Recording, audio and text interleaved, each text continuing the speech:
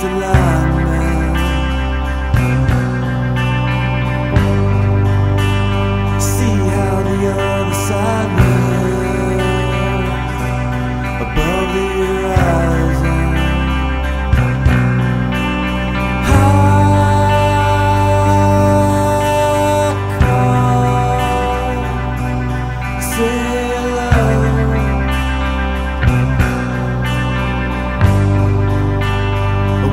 I can change your mind